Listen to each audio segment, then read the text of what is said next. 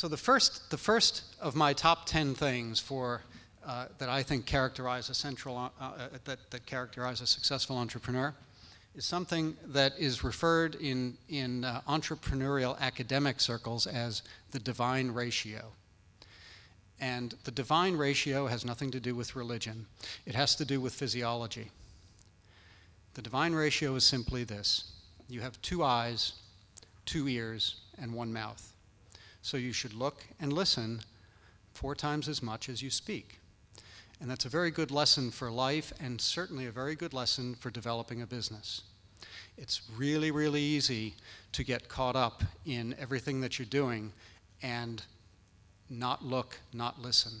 And one of the things that we've heard from other speakers is that one of the best ways to figure out what the next good thing, what the next big thing is going to be, is by looking around, talking to people and listening to people, mainly listening and watching.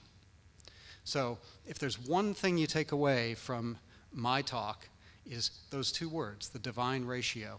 And if you employ them in your business world and even your personal world, you'll find that life gets to be a little more interesting.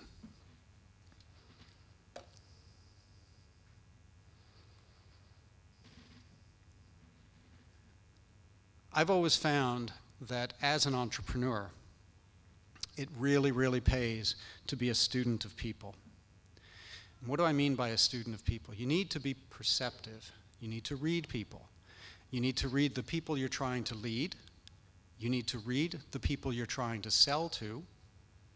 And you need to read the people you're trying to get to invest in your enterprise.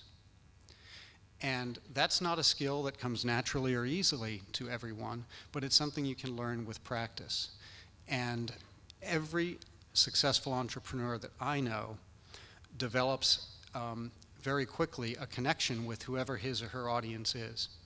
And so when you think about yourself as an entrepreneur, the reason I'm going through these things is to be a little bit introspective and to ask you to be introspective and ask yourself, do I do these things? Do these characterize me? Um, because if they do, you'll have a leg up in becoming a successful entrepreneur. This is another, for those of us that, that teach entrepreneurship and um, encourage the notion that um, any enterprise is, is better when there's a, a team formed around perhaps the initial um, protagonist or the initial entrepreneur. There's no I in the word team, okay? And so the good entrepreneur understands that he or she can't do it alone. And the good entrepreneur understands that they shouldn't be up in front of a, a, group of people taking credit. The best entrepreneurs are cheerleaders for their teams.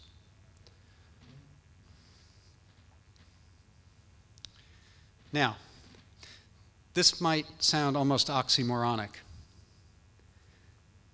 The successful entrepreneur is prepared, prepared for and generally, and generally has known failure. Now, you've heard that a little bit from, from other speakers at the conference, and it's very, very true.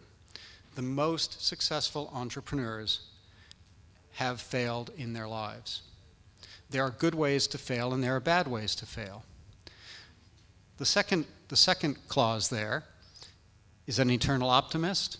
So, how can you be prepared for failure? In fact, in many cases, consider that the odds are pretty decent that you may fail and yet be an optimist. Because the entrepreneur, the successful entrepreneur, sees the knowledge that's gained from every failure and learns from those mistakes. So it's okay to fail, just don't make the same mistake twice.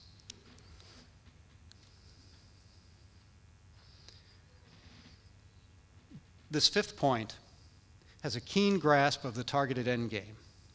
So every business enterprise is different. Every business enterprise's goal is different, all right? But you should understand at the beginning what you're setting out to do. How do you define success? Is it achieving a certain market share? Is it making a certain kind of difference in the lives of, of the customers that you have? How are you defining success? Okay?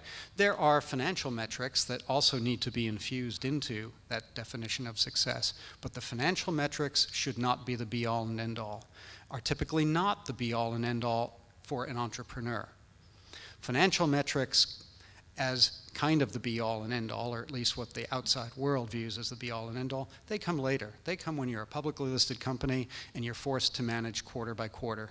I've done that and it's no fun. It's not nearly as much